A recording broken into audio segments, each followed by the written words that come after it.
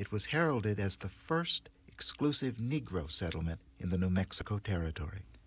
It was a place where blacks could truly be free, a planned colony where they could determine their own destiny and not be attacked and harmed because of the color of their skin.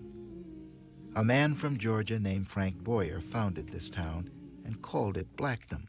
It was more than a claim staked in the dirt. Moral stewardship, personal freedom, and ethnic pride.